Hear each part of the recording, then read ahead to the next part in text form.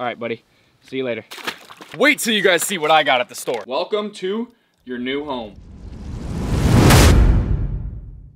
Today's video is sponsored by the Ridge Wallet, but more on them later. What is going on, my fellow fish guys and girls? Fish Guy Jack here, back with another video. Today's the day I've been waiting for for about a week now, and that was to make sure our lovely fish right here, our black and white damsel, survived. As you guys all know, two videos ago, I posted that my mimic octopus died, and you know what? I didn't know what the case could have been, because the water is perfect, but the good news is, is that this water is good and we're good to go with fish. So in today's video, we're gonna be heading over to the fish store today and we're gonna be getting some mini predators for this aquarium. We're gonna do saltwater fish, mini predators. Might get one, two, three, who knows, but it's gonna be a good video. Now I really wish I could get some new fish for this tank right here, but sadly, Bolt, Spike, Zeus, I think they're all happy with who they have inside the tank right now and they don't want anybody else inside here, but I'll tell you what, I really love Bolt. He's so active. Usually eels hide up in the rocks, but Bolt's out and about. And I think maybe today we're gonna be looking to get an eel for this aquarium. As you guys all know, I wanna put a panther grouper, a triggerfish, an eel, maybe an angelfish, but all super small inside this aquarium and watch them grow. It's gonna be an awesome video. I also have plans to literally go fishing with Fish Guy Kyle here in about 30 minutes, so it's gonna be an awesome video. But before we hop into it, I gotta give a huge shout out to today's sponsor, Ridge. What I love about this wallet is how easily it slips in and out of your pocket, which makes checking out the register way less frustrating. We've all had the time when we're at the register, getting ready to pay, and we're fishing around in our pocket, trying to get our old bulky wallet out, but thanks to the Ridge wallet,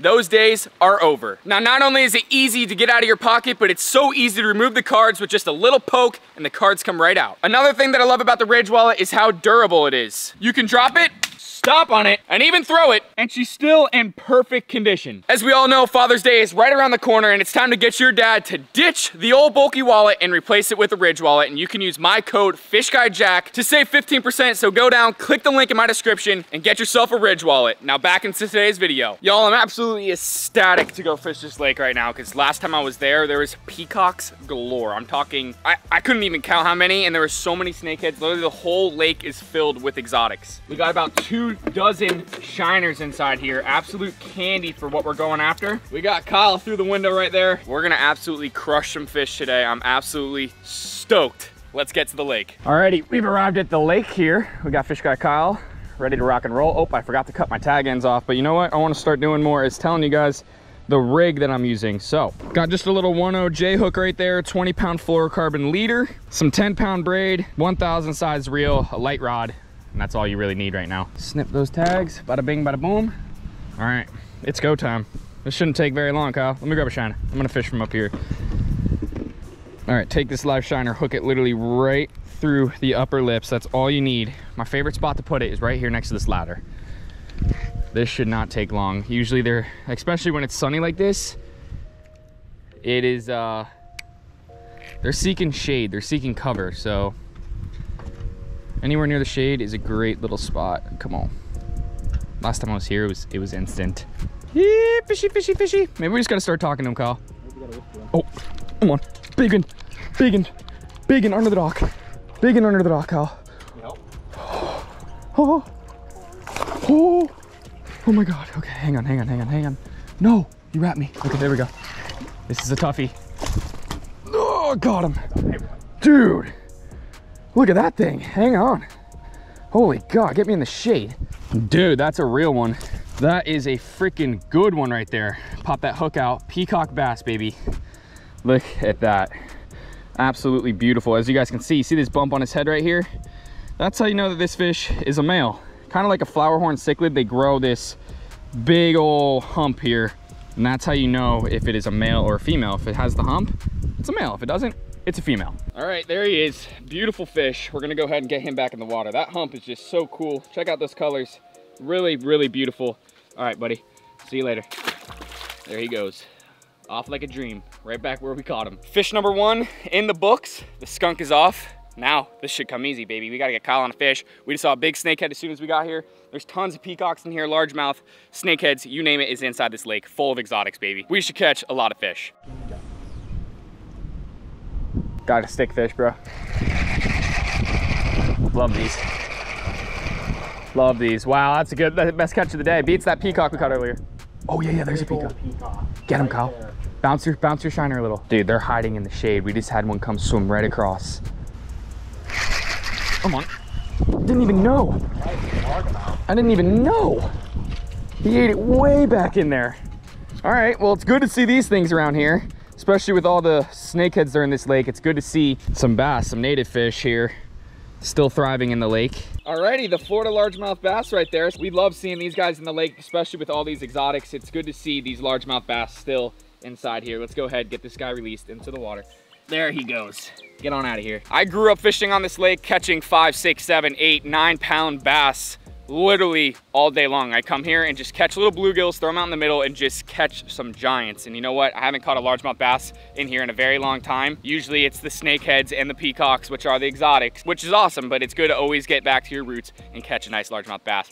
Now, what's left on the agenda is a snakehead. But we gotta get Kyle on something here. Kyle might be fishing 30 pound. We don't, we, you know, we can't identify it, but I think it might be the problem yeah, here. 30. I think it might be 32. I think you might have to switch it. Yeah, that's 30. But we got a, we got a storm coming in here, and you know what? I don't really know how much longer we're gonna have here, but after this, we're going to buy something from the store that I have my eye on, that I've had my eye on for a while, and uh, I'm looking forward to it. So let's keep fishing try to catch some more fish, and then we're heading to the store. All right, as I'm here watching this storm approach, I'm thinking, all right, shade's gonna come out, fish are gonna start moving around. Could be good, but as long as we don't get struck by lightning. Got a nice frisky shiner here. We're gonna try tail hooking this one, I think. Kyle. Actually, no, no, you know what? Why? If it ain't broke, don't fix it. That's what they say, Kyle, right? That's what I say. Yep, if it ain't broke, don't fix it. Hook this puppy right up through the lips, shut the lid, bada bing, bada boom, let's get to fishing. Let's get to fishing. I'm gonna fish this sawgrass right here. Come on, give me a bite. Last time I didn't even know that bass ate it. Literally had no clue. I just got bit. I just got bit. No! No! No, Kyle. No. Get another one. Get another bait. Get another bait. Don't waste any time, Kyle. Don't waste any. Uh, oh, sugar. Wasting time. time. Wasting time. Hook that up just like that. Let's go. Let's throw him in there. Perfect. Perfect. Come on. Come on. Come on. Let's see if we can get that same fish to come back and eat it. Whoa, whoa, whoa, whoa, whoa, whoa, whoa. Here we go. Here we go. Here we go. And we have thunder. And we have thunder. This is gonna be a buzzer beater, guys. We have thunder and we have a nervous bait. Dude, this storm don't sound too nice. Yep, there's the lightning alarm, Kyle. I think we should get the hell out of here. I think we gotta get the heck out of here. But dude, I might catch a fish right here. That's the lightning alarm, bro. It's already taken over the sun. We gotta get the heck out of here. Here I am, storm approaching, still fishing with a freaking rod in my head, in my hand, ready to get struck by lightning. That is not smart. I think I think we need to be smart here. Kyle, I think we need to get the heck out of here. We gotta roll.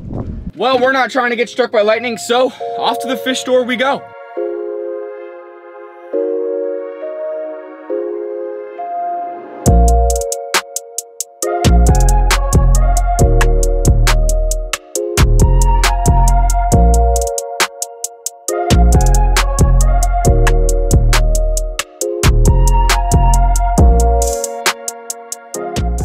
Wait till you guys see what I got at the store. We're not gonna waste any time here. We're gonna get this guy getting going inside of the tank. This thing is absolutely beautiful. I've never actually owned one of these, but I'm so excited to stock this thing up with predators. As I was looking around at the store, there were so many fish I could have bought, but I decided to walk out of the store with this guy right here. Oh my God, he's out of the water right now. Let's get him acclimating. This is a snowflake moray eel right here, and it's a baby. I can't wait to see this thing grow. Now let's get him acclimating. Give this dude about 20 minutes, and he's going inside. Alrighty, take a look at that little guy down there. I think he's definitely ready to go inside the tank. He's about, eh, I'd say about nine inches long, maybe 10. But I need an awesome name for this guy down below. He's got a really, really cool pattern. It was between him and one that was a little bit bigger, but I like the pattern on this guy a little bit more. White, yellow, gold, black, brown, you name it. There's his little head right there. Let's make sure we get a good name for him. Let's not waste any more time. Let's get him in the aquarium. For some reason, I always struggle to get eels in the aquarium because you know what? I got a net in one hand, a camera in another. We're trying to get him inside of the tank, and these guys are squirmers. Let's see if we can get this first try. Come on, little guy. In my net. There he goes. He's in. Perfect. Oh my God, that fish is absolutely beautiful. Welcome to your new home. Oh, baby. There he goes. He's inside the tank. Hang on, let me put the lid back on. Actually, no, we gotta take advantage of this before he finds the rock. That thing is beautiful. The damsel's checking him out. Oh my God. Once he sees, I think he might see the rock in the reflection, but once he sees it, he's gonna beeline it for it. I'm definitely gonna add some more rock to this aquarium, but the snowflake eel is definitely a very underrated eel. I mean, it's a very common eel, but I don't think they get enough love. These guys are super beautiful. Look at the pattern on him. He's like a cheetah. He's uh, he's definitely like a cheetah. He's beautiful though.